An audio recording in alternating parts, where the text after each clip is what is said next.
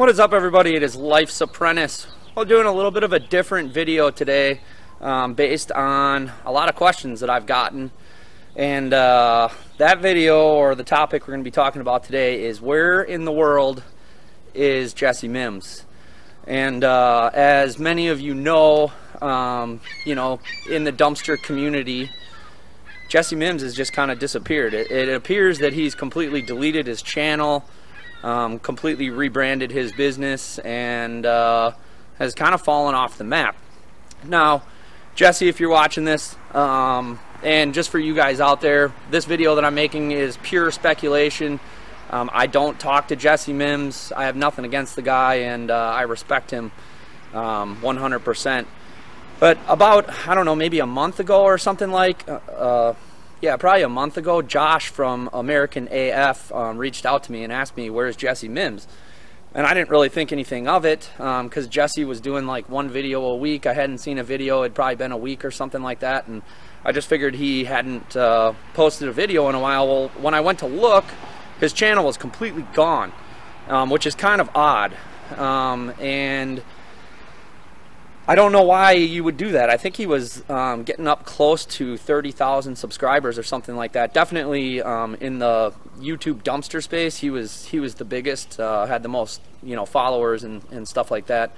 And uh, I know he was having some issues with um, his Google account, his Google My Business getting um, delisted from Google, and I guess he was he was wanting to rebrand his business because he thought that um, you know other companies in his area were um, going after him or trying to you know cancel him basically.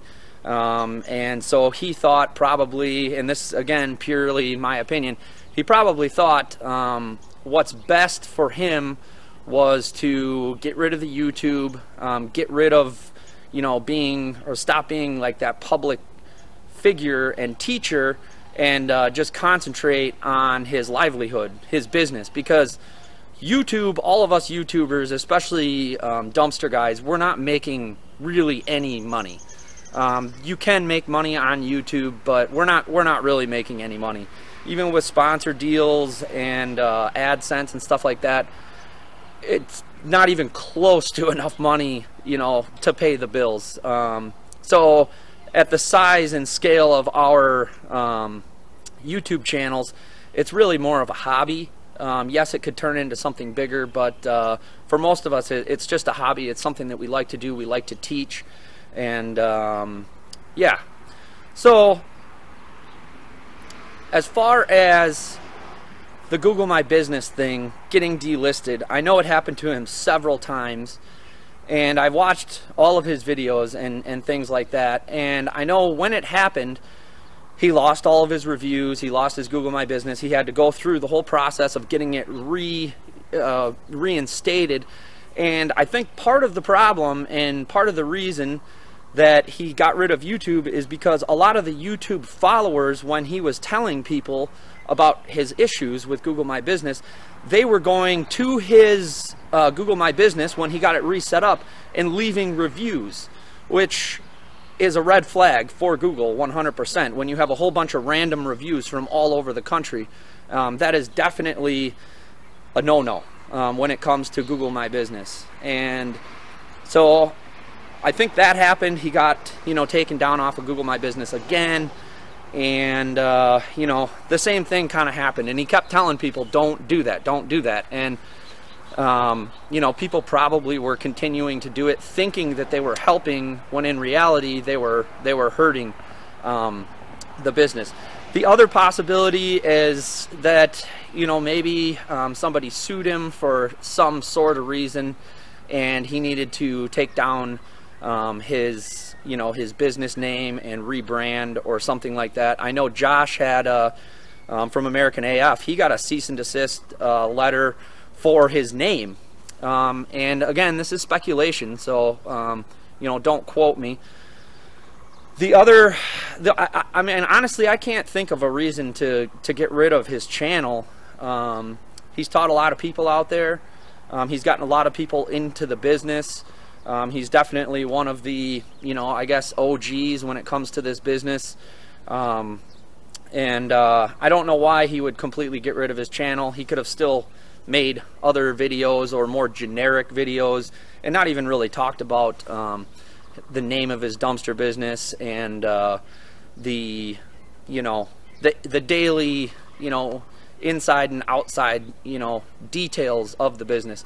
You have to understand that us YouTubers, and, you know, I've had comments say, why in the world would you give out that type of information um, for your business to your competitors? And I know that some of my competitors watch um, my videos, and I know that I'm giving out, you know, very valuable information about my business I'm just not worried about the repercussions. And I know that um, I know that I can handle um, you know competition and and things like that. And that's one thing that is a little bit different about my business and Jesse's is that I pay for a lot of advertising. So if my Google My Business gets taken down, my phone's not going to stop.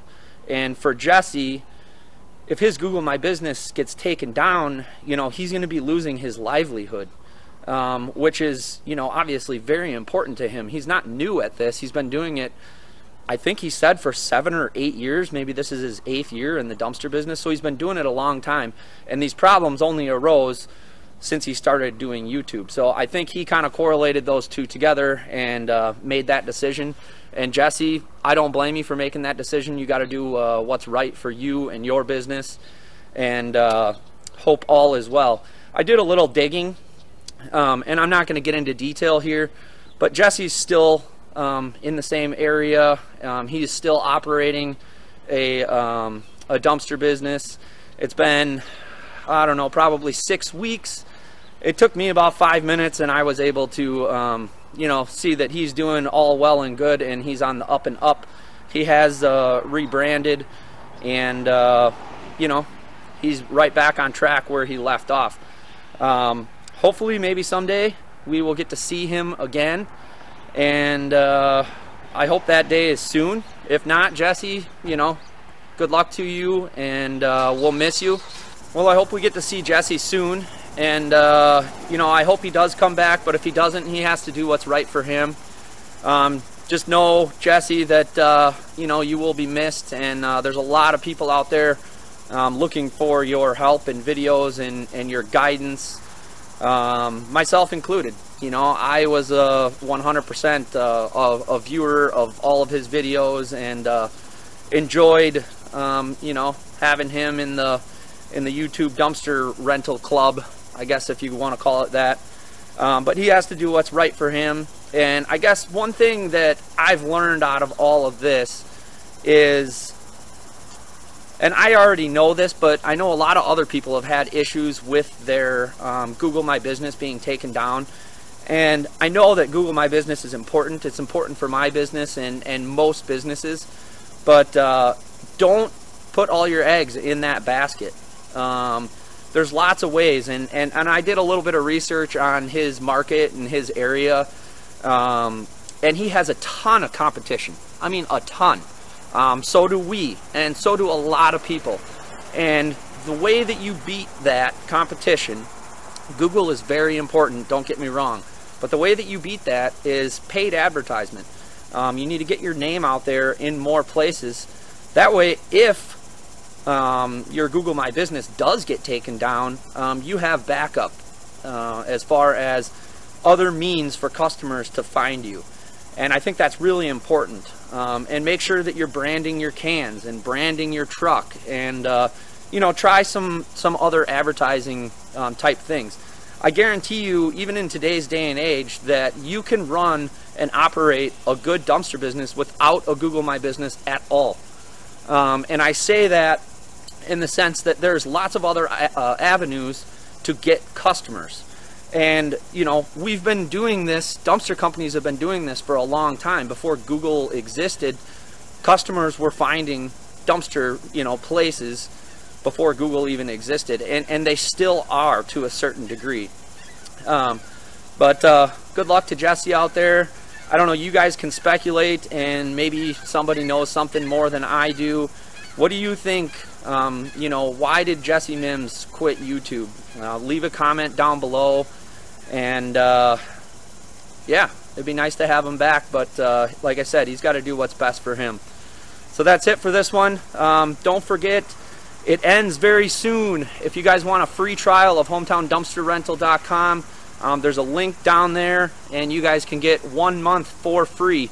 But uh, that is ending very soon. I believe it ends uh, April here. So you guys have like another day or two, and uh, and that offer will be gone. So take that offer if you haven't already, and uh, hit the thumbs up. Subscribe if you haven't. We will see y'all next time.